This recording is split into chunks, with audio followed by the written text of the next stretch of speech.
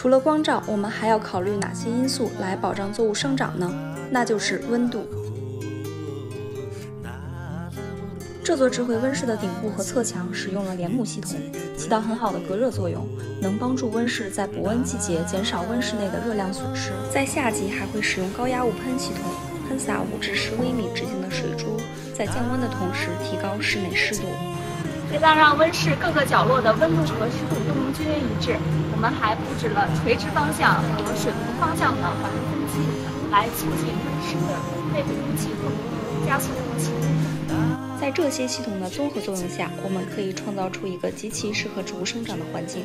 那么，在这个环境下，我们的作物是如何种植的呢？在联动玻璃温室中，通常选用椰糠作为栽培基质，并配备悬挂式栽培槽进行种植。为了保证温室屋面的清洁，使室内有足够的光照，我们还配置了专门的屋面清洗设备。